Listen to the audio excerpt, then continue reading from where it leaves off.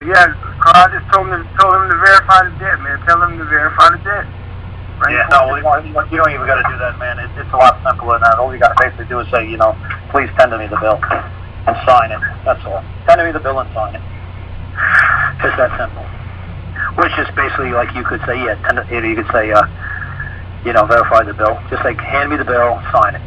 Just present me the bill and sign it. You know, deliver upon me the bill, but make sure it's signed.